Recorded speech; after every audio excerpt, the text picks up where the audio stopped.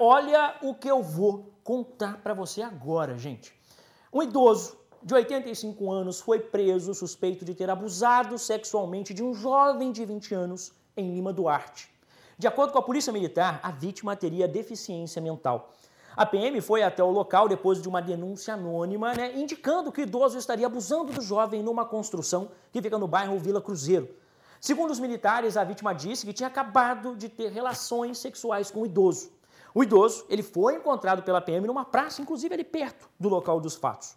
Ele disse aos militares que não sabia que a vítima tinha problemas mentais e que foi o jovem que o teria convidado e que a relação foi consentida e que os dois teriam apenas praticado sexo oral. Já o rapaz contou à PM né, outra história. Ele disse que foi o idoso quem o chamou para fazer sexo, que ele o acompanhou o suspeito, mas que ele não sabia ao certo o que estava acontecendo e que eles fizeram mais do que sexo oral.